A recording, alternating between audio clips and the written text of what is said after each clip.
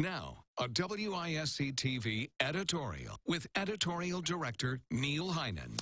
Separating children from their parents who are trying to enter the United States at the border is reprehensible and inhumane.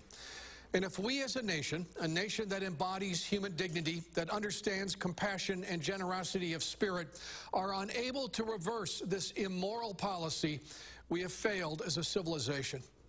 If there's ever been a time to set politics aside and simply do what is right, morally and ethically, this is that time. We can discuss walls and trade and immigration, as bizarre as those discussions are right now, with all the political bluster we can muster. But to terrorize children and their parents, to torture these people, to make a political point, is beyond acceptance as terms of political engagement.